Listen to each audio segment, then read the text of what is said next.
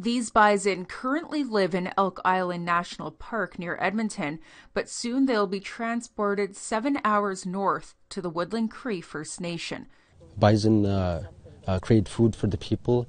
Um, they revitalize uh, culture, language, and tradition. Bison haven't been a part of the Woodland Cree tradition for over 100 years.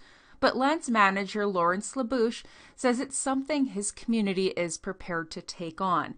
He says over 600 acres of land has been set aside for the herd. The majority of the people in the community have their own horses, so in that sense, they apply that knowledge to uh, be able to take care of them. Also, some of them have uh, cows.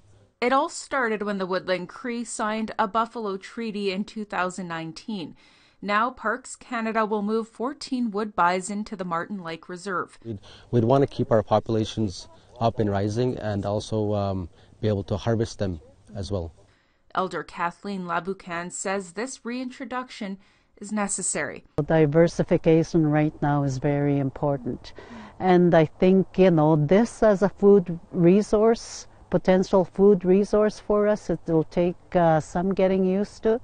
But we, you know, we also need to, you know, adapt to changes for, for the future.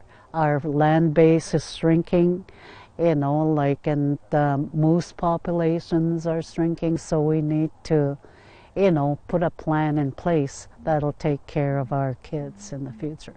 The bison will be transported to the reserve later this winter. Tamara Pimentel, APTN National News, Fairview.